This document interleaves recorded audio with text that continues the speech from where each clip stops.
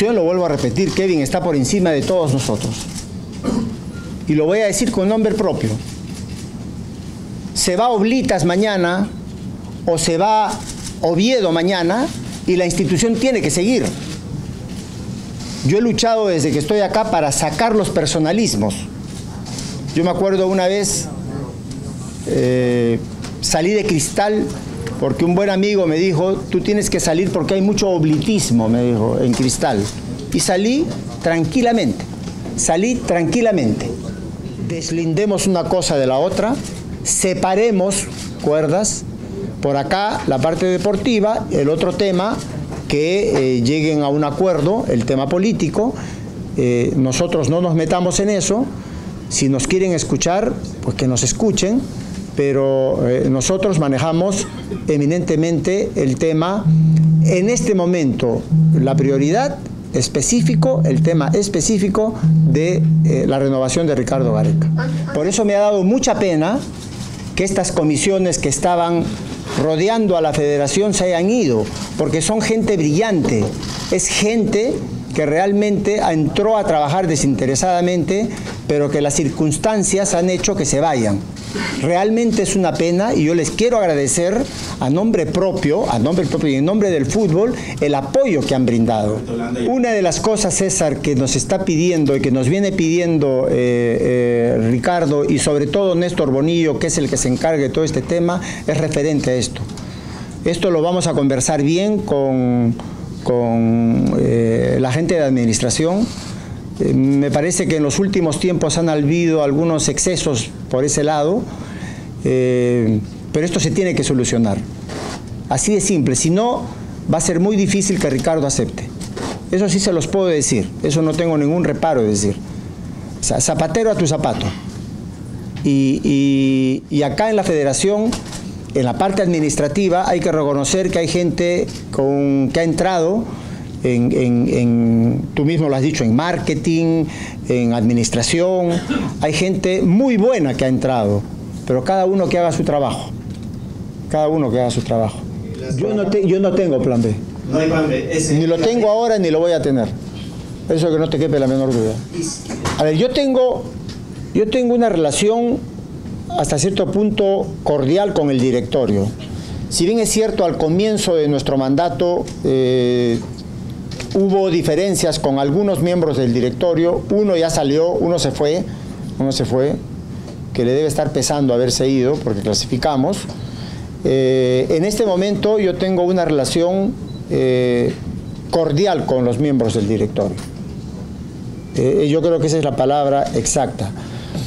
el tema que ha surgido en este momento es que que como ante el pedido de, gente relacionada al fútbol que ha pedido la, licencia eh, de, Edwin Oviedo, este, lógicamente quien, quien, tendría que tomar el cargo respetando la institucionalidad es eh, Franklin Chuquisuta, porque es el vicepresidente más antiguo, no porque hay primero o segundo vicepresidente, sino porque es el vicepresidente más antiguo. Yo tengo contrato hasta fin de año, siempre lo he dicho, siempre lo he dicho. Yo tengo contrato hasta fin de año. Lógicamente, con la coyuntura que se dio, con la coyuntura que estamos viviendo, eh, yo no salí a hablar porque yo esperaba que primero el señor Oviedo salga y eh, deslinde todos estos temas que se venían tocando. Eh, las, las especulaciones están a la orden del día. Ricardo sabe perfectamente cuál es mi situación, qué es lo que quiero. Y yo lo que tengo en mente es que Ricardo renueve, nuevamente, insisto, blindar el trabajo de la parte deportiva para los próximos cuatro años y lo menos importante después es si sigo o no sigo. Eso que no les quepe la menor duda. A veces nosotros nos enfocamos en el tema de, de los audios, de todos, todos estos últimos eh, días hemos hablado solamente de eso y, lógicamente lo que se toca después es cómo va a ser Ricardo Gareca para, para, eh, para renovar. Pero ustedes no se preocupen por mí. Ustedes no se preocupen por mí. Me quede o no me quede, el proyecto va a seguir. Yo lo último que quiero son los personalismos.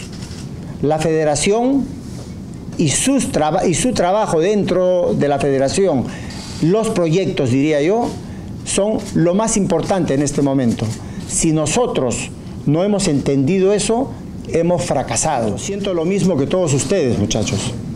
Este, eh, en algunos casos, eh, en temas específicos de ciertos audios, eh, donde se involucran a muchas personas que inclusive ya están, inclusive ya están presos, siento hasta asco. Pero igual que ustedes, igual que ustedes, no, no, no hay nada extraño en ese tema. descubrir que se dan estas cosas. Eh, me da mucha pena que eh, en esto se haya involucrado la federación. Me da mucha pena, pero justamente eh, lo que quiero y mi presencia en la federación es separar la parte deportiva de la parte administrativa y en algunos casos judicial. Es, eso es simple. Ahora, ¿por qué recién estoy hablando ahora? Algunos dicen, ¿por qué no renunció Oblitas? No renuncio porque si yo renuncio, Ricardo Gareca no acepta y después van a encontrar la excusa perfecta para decir, Ricardo Gareca no aceptó porque Oblitas renunció. Yo me voy a quedar para que Ricardo acepte. Dios quiera que sea así. ¿Por qué no hablé antes? porque yo le pedí al señor Edwin Oviedo, cuando empezaron todos estos temas, cuando él viajó al Mundial y regresó, que por favor salga y dé explicaciones al respecto. Lo ha dado el día domingo, creo que fue, o lunes, no, recuerdo, el día lunes, el día lunes. Entonces, yo ayer no pude hacer la conferencia por una razón muy simple, porque no hubo tiempo y porque nuestra bendita videna sigue cerrada. Entonces pedí que por favor, donde sea, en un hotel, en la videna o en mi casa, yo iba a charlar con todos los medios. Si nosotros no aclaramos bien estos temas, Ricardo es poco probable que se quede. Él quiere quedarse. Él, la prioridad de él es quedarse en el Perú. No se va a sentir mejor en ningún sitio que acá, que no les quepe la menor duda. Hay ciertas condiciones que él pone no son económicas, la parte económica él no la ve, como yo tampoco la veo, no son económicas, sino un poco de blindaje de la parte deportiva, de blindaje de la parte deportiva. ¿Qué es lo que va a pasar de acá en más? Porque son cuatro años de contrato, no son solamente cuatro meses, ni para partidos amistosos. Bueno, eh, la verdad, Estoy, después de mucho tiempo que me encuentro con tanta gente acá, ¿cómo es el, morbo? El morbo les gusta a ustedes. Este, eh, primero lo de los 10 minutos, eh, eso fue ayer a las 7 de la noche, ¿no? Ya han pasado, creo, 18 horas, 17 horas, ya pasó mucho tiempo. Creo que hay que dejarlo ahí, creo que a veces este, eh, un poco de, estas luces de televisión hacen que se pongan nerviosos y digan cosas que no son, que puede ser hasta cierto, hasta cierto punto una irresponsabilidad, pero eh, lo de Ricardo es muy simple. Yo tengo mañana nuevamente una reunión con Ricardo de acá, con, no sé si llegará con su cuerpo técnico, parece que sí. Eh, ustedes saben que yo solamente veo la parte eminentemente deportiva, yo no veo otros temas. Esto lo vengo conversando con Ricardo hace un buen tiempo. Lo vengo conversando con Néstor Bonillo y, en algunos momentos con Mario Cupelli, que es su abogado. Eh, la prioridad de Ricardo, y eso se los digo enfáticamente, es eh, Perú. El fútbol está afectado, el fútbol está afectado, pero yo estoy acá para deslindar y tratar de que la parte deportiva se maneje de la mejor manera y que siga el camino que nos trazamos hace tres años y medio. No lo podemos perder. Casi cuatro años, ya casi cuatro años. No podemos perder eso. Entendamos todos, lo que se ha ganado no se puede perder de la noche a la mañana por estas cosas nefastas que estamos escuchando y viendo. La solución, la verdad yo no tengo una varita mágica, no tengo una varita mágica. Eh, no sé, en otros lados inclusive han habido intervenciones, comité interventores de FIFA, pero yo no sé en este momento qué es lo que pueda pasar. El directorio con Edwin Oviedo se tienen que reunir y ellos llegar a la a una solución. La entrevista en RPP que se le hizo a, Edwin y él habló de errores, o sea que él debe haber reconocido algunos errores. Eh, no, no, no. Las cosas, cuando hemos conversado, este, no me lo ha dicho. Eh, el caso de Teófilo eh, no voy a comentar, me da mucha lástima y punto. Y punto. Es, es, es lamentable y y ojalá que, arregle su situación. ¿Y algo más me dijiste? La permanencia del señor Oviedo en la presidencia pone en riesgo que el señor Ricardo Gareca se quede en el Perú. A ver, de lo que he conversado con Ricardo, lo que Ricardo me ha eh, eh, dicho es que lógicamente ellos están muy confundidos con todo lo que viene pasando muy confundidos con todo lo que viene pasando. Voy a esperar a que el fuego me consuma, eso sí te lo puedo decir.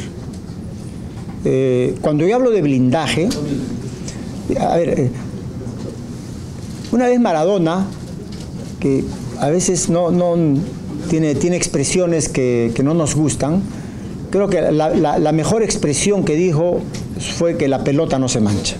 Y eso nos queda a todos. y tuvo razón y en este momento es lo que yo quisiera para con el trabajo de la selección. La selección es la pelota.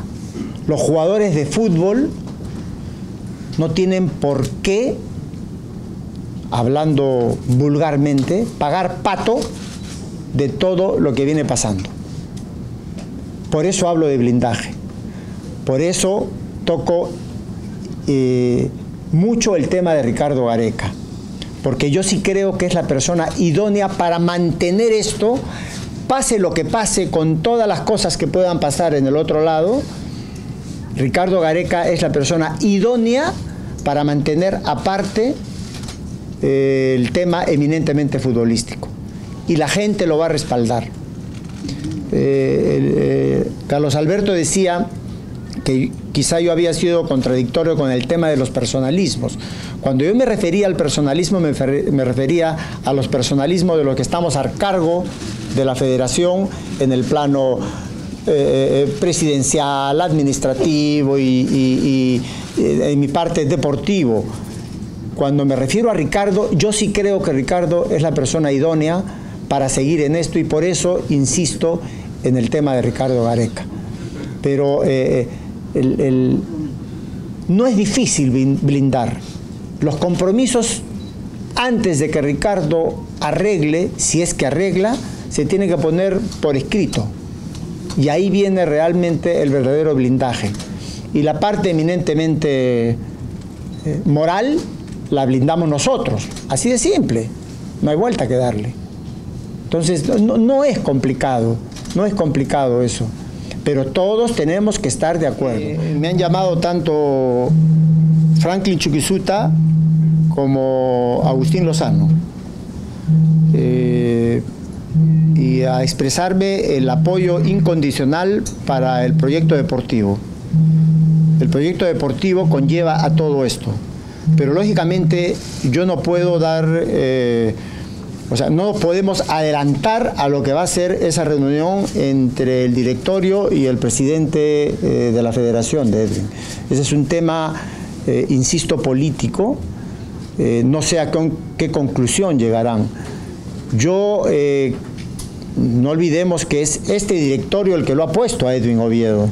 O sea, Franklin, Agustín, el señor Alba, Lucio Alba, Genaro Miñán, Juan Quispe, Severo, la señora Paitán, eh, eh, después ingresó eh, el señor Isla, este, todos ellos pusieron a Edwin, todos ellos. Entonces, entre ellos tienen que, llegar a una solución.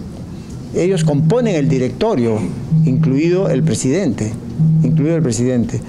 Es, es complicado lo que tú me dices, Martín, eh, porque eh, mi posición eh, en este momento es de, de- de dudas, de muchas dudas, y, y como dije al comienzo, lo único que me llevó a quedar a quedarme acá en, la- en- en- en estos últimos días es la, la posibilidad de convencer a Ricardo para que siga. Es lo único que me llevó a quedarme acá. Eh, por eso, cuando le pedí a Edwin hace casi 15 días que salga a hablar, era para que él aclare todos estos temas de presunciones. Todo es y queda en la presunción y en el tema indiciario. En el tema indiciario. Entonces, lo mejor es que salga y, declare. Se demoró un poco, creo que él mismo ha, ha reconocido que, cometió un error en demorarse, pero eh, va a depender mucho de lo que tú me dices de las reuniones que tenga mañana y pasado con Ricardo. Mucho, mucho va a depender de, no solamente, lógico, del futuro de Ricardo, y, sino de mi futuro. ¿no? El- mí me da mucha pena que luego de haber ido, después de haber ido 36 años, después de 36 años al Mundial, estemos hablando de, de estas cosas, de audios, de que este señor está acusado de esto, que el otro está acusado del otro, que por qué el otro entró al camarín, que por qué el otro señor pedía entradas, que por qué el otro señor pedía pasajes. A mí me da mucha pena, mucha pena. Cuando hemos estado, hemos tenido que estar todos tranquilos esperando la llegada de Ricardo para que nos dé la respuesta. Ustedes no se imaginan cómo me siento con esto. O sea, por lo que luchamos, porque tuvimos hasta ayuda divina para llegar a la Copa del Mundo, y en vez de estar disfrutando de esto y empezar un trabajo hacia Qatar, estemos inmersos en discusiones que la coyuntura actual ha hecho que nos lleven a esas discusiones. Es, es, eh, lastimoso, es una pena, pero por eso cuando yo hablo del blindaje de la parte deportiva es para que esa otra parte no nos intoxique, no nos intoxique. Lo otro lo tendrán que definir eh, en su ámbito, no en, en- el ámbito deportivo. El hecho de que voy a hacer lo imposible para que Ricardo Gareca renueve con la selección. Eso es lo que me mantiene. Me mantiene que los proyectos en marcha de menores, los proyectos en marcha del, de- del mismo tema de licencias, que ahora no sé si la comisión de licencias ha renunciado, creo que hay una nueva comisión, eh, me, eh, hay, hay muchos temas que están pendientes, eh, inclusive hasta el tema de la liga. Eh, yo creo que el tema de la liga, por ejemplo, todos, incluidos los de la asociación, incluidos los señores de la asociación, están de acuerdo con el tema de la liga. Creo que hubo algunos errores de forma, pero el tema puntual de la liga todos están de acuerdo. Eh, el tema de licencias también todos están de acuerdo y, nadie puede discutir eso. Simplemente, vuelvo a insistir, han habido errores en algunos casos de procedimiento, pero eso es totalmente subsanable. Eso es lo que me sostiene. Pero básicamente, Walter, me sostiene el hecho de que venga Ricardo, converse con él y eh, convenzamos a Ricardo que eh, el proyecto que empezó el 2015 continúe hasta Qatar. Eso es lo más importante para mí y eso es lo que me mueve a seguir acá en la federación y estar en este momento frente a ustedes. Las cosas que, las decisiones que yo tome, soy yo el que se las tengo que decir a ustedes. ¿Estamos? Así de simple. Eh, no, no, no, no, no me molesta. A veces, este, a veces, mira, mira cuántos micros hay acá. Mira cuánta gente hay en esto. A veces eso pone nervioso un poco a la gente. Y, y- y se dicen cosas que no se quieren decir, pero ni, ni me hace daño, ni me molesta, ni me mortifica. Pero cuando yo tenga que decirles algo a ustedes, se los va a decir yo, no se los va a decir otra persona por mí.